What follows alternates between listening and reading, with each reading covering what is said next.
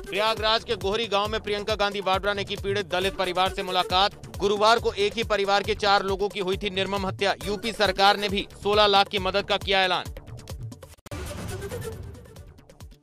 27 नवंबर को जौनपुर में यूपी विधानसभा चुनाव का खाका तैयार करेगी भारतीय जनता पार्टी। तीस हज़ार बूथ अध्यक्षों को संबोधित करेंगे रक्षा मंत्री राजनाथ सिंह।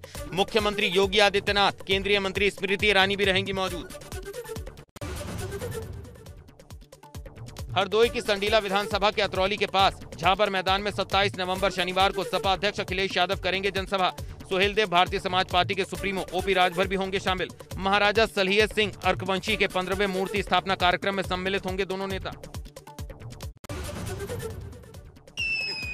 हरदोई में सपा नेता ने भैंस के आगे बीन बजाकर नगर पालिका परिषद हरदोई के खिलाफ किया विरोध। कई जगहों पर गंदगी को लेकर किया प्रदर्शन। सपा नेता ने कहा, नगर क्षेत्र में फैला डेंगू, पालिका सफ़ाई पर नहीं दे रही ध्यान।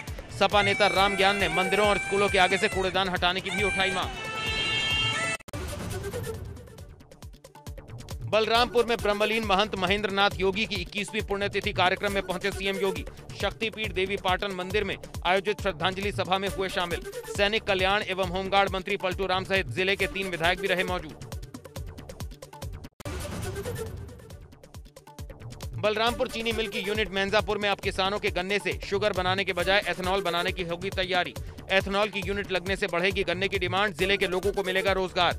साढ़े चार सौ करोड़ की लागत से बन रहे इथेनॉल प्लांट के भूमि का शिलान्यास करेंगे सीएम योगी। सपा अध्यक्ष अखिलेश यादव ने ट्वीट कर सरकार पर साधा निशाना, लिखा बीजेपी का विकास केवल विज्ञापन है।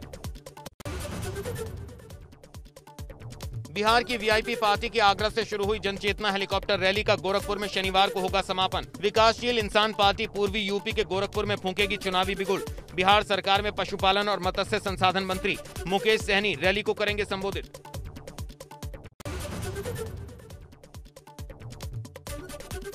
मंत्री अनिल राजभर ने विपक्ष पर साधा निशाना। बहराइच के प्रभारी मंत्री अनिल राजभर ने संविधान दिवस के मौके पर बहराइच में होने वाले सांसद खेल स्पर्धा में की शिरकत। ओपी राजभर पर बिना नाम लिए साधा निशाना कहा, इनके जैसे राजनीतिक शूटरों का 2022 में शूट आउट करके इन्हें घर बैठा दिया जाएगा। कहा, ऐसे लोगों का जनता के बीच कोई स्थान नहीं। 27 नवंबर को महोबा में प्रियंका गांधी की जनसभा की तैयारी में जुटे कांग्रेस पदाधिकारी, अल्पसंख्यक कांग्रेस ने मुसलमानों को इकट्ठा कर प्रियंका की रैली सफल बनाने को लेकर की बैठक। कांग्रेसियों का दावा, प्रियंका की रैली में जुटेगी प्रधानमंत्री मोदी की जनसभा से ज़्यादा भीड़।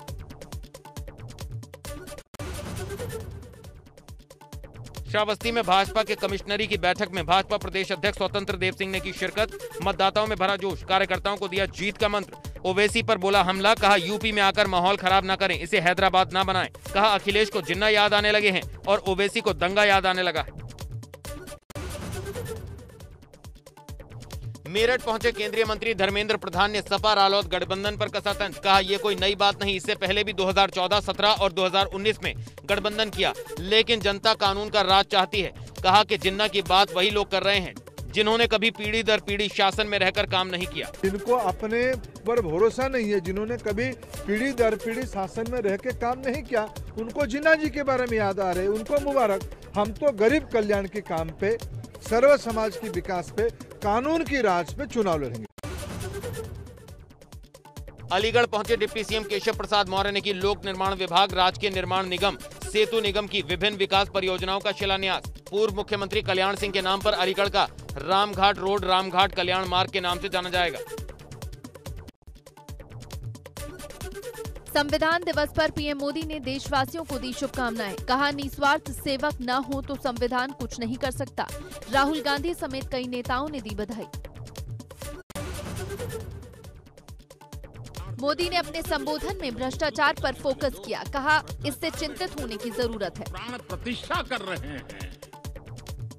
मतलब उनको भी वो मिलता रास्ता मिल जाता है कि भ्रष्टाचार के रास्ते पर चलना बुरा नहीं है। दो चार साल के बाद लोग स्वीकार कर लेते हैं। पीएम मोदी ने कहा कि भारत एक ऐसे संकट की तरफ़ बढ़ रहा है जो संविधान के समर्पित लोगों के लिए चिंता का विषय है और वो है पारिवारिक पार्टियाँ। तंत्र के प्रति आस्था रखने वालों के लिए चिंता का विषय है। और वो है पारिवारिक पार्टियाँ।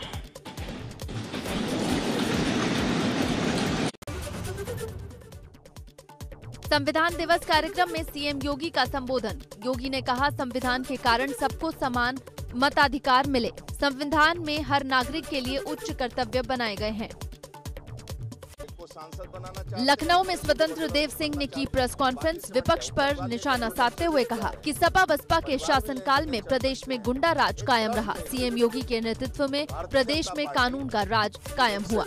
पार्टी है, इसकी कार्य पद्धति है। और उसके आधार पर पार्टी चलती है। और एक बूथ का कार्यकर्ता भी प्रदेश का नेतृत्व करता है, देश का नेतृत्व करता है। लखनऊ में पूर्व सांसद सावित्री बाई फुले की संविधान बचाओ महापंचायत में पहुँचे अखिलेश यादव।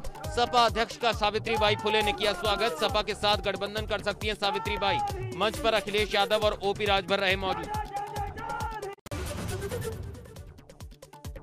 लखनऊ में संविधान बचाओ महापंचायत में बोले अखिलेश यादव कहा आपका हक और सम्मान समाजवादी पार्टी दिलाएगी। लखनऊ एयरपोर्ट को लेकर अखिलेश का सरकार पर निशाना कहा पहले ये सरकार का था अब बेच दिया। चीज़ें बिक रही हैं बीजेपी को जो दिखाई दे जाएगा वो सब बेच देंगे। ये बीजेपी के और बाबा मुख्यमंत्री कमाल के हैं। जो इन्हें दिखाई दे जाएगा वो सब बिक जाएगा। अखिलेश यादव ने महापंचायत को संबोधित करते हुए कहा जाति और धर्म का भेद बाबा साहब ने मिटाया। कहा लोकतंत्र में जो दुख देता है जनता उसका सफाया कर देती है। बसपा सुप्रीमो मायावती का सरकार पर निशाना कहा दलित वर्ग के लोगों को सपा भाजपा से सावधान रहना चाहिए। सरकारों की तरफ़ से संविधान की नहीं की जा सकती अनुपालना। जैसी उन पार्टियों से भी ज़रूर सावधान रहना चाहिए जिसने एस सी व एस टी का आरक्षण संबंधी बिल संसद में फाड़ दिया था। मायावती ने कहा कि आज किसान आंदोलन का एक साल हो गया है। संविधान दिवस कार्यक्रम में बसपा हिस्सा नहीं लेगी। ले लिया है। ये उचित कदम है जो बहुत पहले ले लेना चाहिए था। मायावती ने भाजपा पर निशाना साधते हुए कहा कि लोगों को उनसे सतर्क रहना चाहिए। दिवस मनाने का कतई भी नैतिक अधिकार नहीं है। बल्कि ऐसी सरकारों को आज इस मौके पर इन वर्गों के लोगों से माफ़ी मांगनी चाहिए। बांदा के चर्चित अमन हत्याकांड को लेकर अनशन पर बैठे अमन के माता पिता से मिले कांग्रेस नेता नसीमुद्दीन सिद्दीकी। अमन की पोस्टमार्टम रिपोर्ट पर उठाए सवाल, कहा, अमन को न्याय दिलाने के लिए परिवार के साथ खड़े रहेंगे। शनिवार को महोबा आ रही प्रियंका गांधी के संज्ञान में लाएँगे मामला। संविधान दिवस के मौके पर कांग्रेस की 15 दिन के सदस्यता महाअभियान की शुरुआत। कांग्रेस ने 15 दिन में एक करोड़ नए सदस्य बनाए जाने का लक्ष्य रखा है। भूपेश बघेल करेंगे सदस्य अभियान की शुरुआत। प्रियंका गांधी दलित बस्ती में जाकर कर सकती है अभियान की शुरुआत। गाँव बस्तियों वार्डो में भी चर्चा करेंगी कांग्रेस। गाँव बस्तियों वार्डो में चर्चा करेगी कांग्रेस। आरएसएस प्रमुख मोहन भागवत ने एक बार फिर से बंटवारे का मुद्दा उठाया। राष्ट्रीय स्वयंसेवक संघ के सरसंघ चालक मोहन भागवत ने कहा कि देश का विभाजन कभी न मिटने वाली वेदना है। ये न मिटने वाली वेदना है। उसका निराश तभी होगा जब ये विभाजन निरस्त हो। सल्ट दौरे पर रहे सीएम पुष्कर सिंह धामी, तिरसठ करोड़ रुपए की योजनाओं का शिलान्यास और लोकार्पण किया। मुख्यमंत्री बोले, राज्य के विकास के लिए कोई कोर कसर नहीं छोड़ रही सरकार। एबीपी गंगा पर पूर्व सीएम हरीश रावत का प्रदेश सरकार पर बड़ा प्रहार, हरदा बोले, भाजपा सरकार से आम आदमी त्रस्त। 2022 में कांग्रेस की सरकार बनने का किया दावा। अमेठी में ईवीएम पर वोट डालकर सिखाया गया मतदान का तरीका। डीएम और एडीएम की मौजूदगी में शुरू हुआ ईवीएम और वीवीपैट का भौतिक प्रदर्शन। 27 नवंबर से सार्वजनिक स्थानों पर आम लोगों को किया जाएगा जागरूक। किसान आंदोलन का आज एक साल हुआ पूरा। दिल्ली एनसीआर बॉर्डर पर फिर जुटने लगे किसान। Delhi police alert Ghazipur border पर फिर लगाई गई बैरिकेडिंग संयुक्त किसान मोर्चा ने किया किसानों का आह्वान। सरकार के तीनों कृषि कानून वापस लेने के बाद भी आंदोलन जारी। 26 नवंबर 2020 को कृषि कानूनों के खिलाफ शुरू हुआ था आंदोलन। छह सूत्रीय मांगों को लेकर किसान आंदोलन जारी। एमएसपी की मांग को लेकर किसान आंदोलन पार्ट टू शुरू। किसान आंदोलन के आज एक साल पूरे कृषि कानून रद्द होने के बाद भी घर जाने को तैयार नहीं किसान। तीनों कृषि कानूनों को सदन में रद्द करने की मांग। किसान आंदोलन के एक साल पूरे होने के बाद किसान नेता राकेश टिकैत ने एबीपी गंगा से खास बातचीत के दौरान कहा, अब सरकार को सोचना है कि एमएसपी पर गारंटी कानून लाएगी या नहीं। उनका आंदोलन लगातार जारी रहेगा। किसान हुए हैं। तीन चार मांग है, इस पर सरकार बैठ के बात कर ले इनका समाधान संविधान दिवस आज संसद भवन के सेंट्रल हॉल में कार्यक्रम का आयोजन। राष्ट्रपति, उपराष्ट्रपति, प्रधानमंत्री और लोकसभा अध्यक्ष का कार्यक्रम को संबोधन। कुशीनगर इंटरनेशनल एयरपोर्ट से आज से उड़ान शुरू। दोपहर बाद दिल्ली के लिए पहली उड़ान भरेगा स्पाइस जेट का प्लेन। कोलकाता और मुंबई के लिए भी जल्द मिलेंगी फ्लाइट्स। रायबरेली में दबंग महिला ने दूसरी महिला को जमकर पीटा, ज़मीन विवाद को लेकर महिला ने ही महिला को पीटा। खेत पर हुई मारपीट का वीडियो वायरल, मिल एरिया थाना क्षेत्र के राहिका गाँव का मामला। मुरादाबाद में किसान क्रेडिट कार्ड से लिया गया पैसा वापस न दे पाने वाले बकायेदार किसान को तहसील के संग्रह स्टाफ ने घर से उठाया। तहसील परिसर में जमकर की पिटाई पिटाई का वीडियो वायरल। कन्नौज में बीच सड़क में पुलिस कर्मियों के सामने जमकर मारपीट होने का वीडियो सोशल मीडिया पर वायरल। विवाह समारोह में शामिल होने आए फरुखाबाद के विधायक के भाई और पूर्व ब्लॉक प्रमुख के समर्थकों के बीच गाड़ी खड़ी करने को लेकर हुआ था विवाद। पिछले 24 घंटे में कोविड संक्रमितों के दस नए मामले सामने आए। वायरस ने चार सौ अट्ठासी लोगों की जान ली। एक्टिव मामलों की संख्या हुई एक लाख दस हज़ार एक सौ तैतीस। वायरस से संक्रमित होकर अब तक कुल तीन करोड़ उनतालीस लाख सतहत्तर हज़ार आठ सौ तीस लोग हो चुके हैं ठीक, जबकि मरने वालों की संख्या चार लाख सड़सठ हज़ार चार सौ अड़सठ हुई। पिछले 24 घंटे में तिरासी लाख अट्ठासी हज़ार आठ सौ चौबीस लोगों का टीकाकरण किया गया। नए आंकड़ों के बाद देश में अब तक कुल 120 करोड़ 27 लाख तीन हज़ार छह सौ उनसठ वैक्सीनेशन हो चुके हैं। कौशाम्बी में छत के बरामदे में सो रहे एक युवक की उसके ही रिश्तेदार ने ईंट से सर कुचलकर की हत्या। आरोपी ने बीच बचाव करने आए। माता पिता के सर पर भी ईंट से किए वार। फरार आरोपी को पुलिस ने किया अरेस्ट। शामली के गाँव भैंसवाल में हॉस्पिटल से अपने घर लौट रहे व्यक्ति का अपहरण। घटना के बाद अपहरण करने वालों ने पीड़ित के फ़ोन से घर फ़ोन किया और 50 लाख की रंगदारी मांगी। पुलिस मामले की जाँच में जुटी। जालौन में पति ने पहले तो अपनी पत्नी की गला दबाकर हत्या कर दी, उसके बाद खुद फांसी लगाकर आत्महत्या कर ली। घटना की सूचना पर मौके पर पहुँची पुलिस ने दोनों के शव को पोस्टमार्टम के लिए भेजा। गोंडा के पंडित पंडितपुरवा गाँव में बीते दो दिनों पहले आठ साल की मासूम की हत्या का पुलिस अधीक्षक ने प्रेस कॉन्फ्रेंस कर पूरी घटना का खुलासा करते हुए मृतक के चचेरे भाई को गिरफ़्तार किया। लखनऊ में युवक का शव एक सेप्टिक टैंक से मिला। रजनीश की पहले बड़ी ही बेरहमी से हत्या की गई और उसके बाद शव को सेप्टिक टैंक में फेंका गया। मृतक के भाई ने मामले में एक युवती सहित उसके पिता, चाचा और भाई पर हत्या का आरोप लगाया। देहरादून में संविधान दिवस पर उत्तराखंड विधानसभा में आयोजित कार्यक्रम मुख्यमंत्री पुष्कर सिंह धामी और विधानसभा अध्यक्ष प्रेमचंद अग्रवाल कार्यक्रम में रहे मौजूद।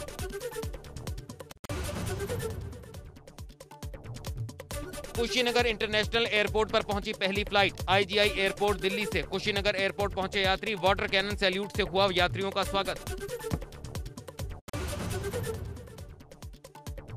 चुनाव आयोग के निर्देश पर खटीमा ब्लॉक सभागार में एसडीएम और तहसीलदार ने बीएलओ के सुपरवाइजर को निर्वाचन नामावली में नाम जोड़े जाने और हटाए जाने की ट्रेनिंग दी।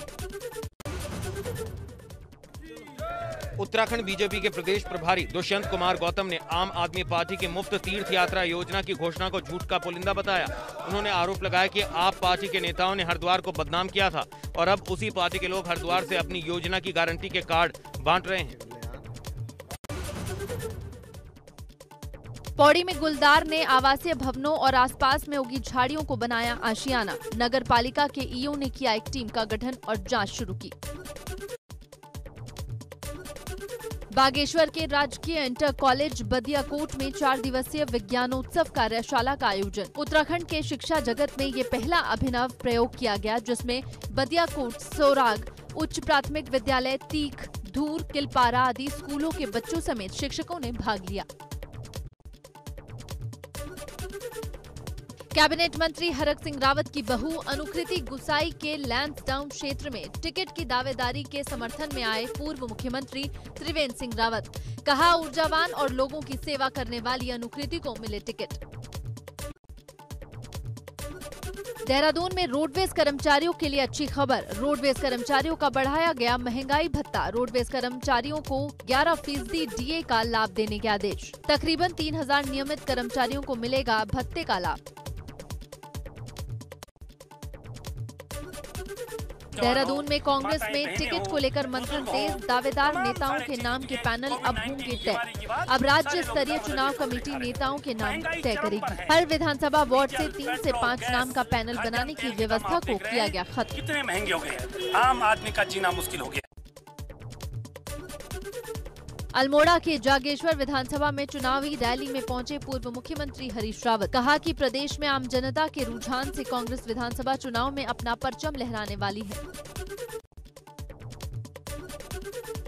2022 को लेकर भाजपा ने तेज की चुनावी तैयारी, उत्तराखंड के दो दिवसीय दौरे पर चुनाव प्रभारी प्रहलाद जोशी समेत कई दिग्गज शामिल। दौरे के दूसरे दिन कई क्षेत्रों का दौरा कर टटोलेंगे नब्ज। देवस्थानम बोर्ड पर फैसला लेने के लिए सरकार के पास 3 नवंबर तक का समय। 1 दिसंबर से तीर्थ पुरोहित शुरू करेंगे बड़ा आंदोलन। 27 नवंबर को तीर्थ पुरोहित मनाएँगे काला दिवस। उत्तराखंड के भारतीय वन अनुसंधान केंद्र में एक बार फिर कोरोना वायरस के कई मामले सामने आए। यहाँ 11 आईएफएस ऑफिसर कोरोना पॉजिटिव पाए गए। बलिया के सुरमनपुर रेलवे स्टेशन पर रेल लाइन पार करने की कोशिश में एक महिला मालगाड़ी के नीचे आ गई। महिला के ऊपर से ट्रेन गुजर गई, मगर महिला की जान बाल बाल बची। पश्चिम में भाजपा के सारथी, ब्रजभूमि के संग्राम के महारथी।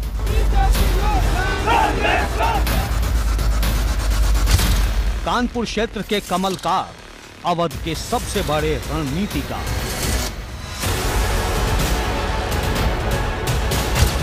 जो काशी में लगाएँगे नैया पार, जिस पर गोरखपुर क्षेत्र का दारो दारोमदार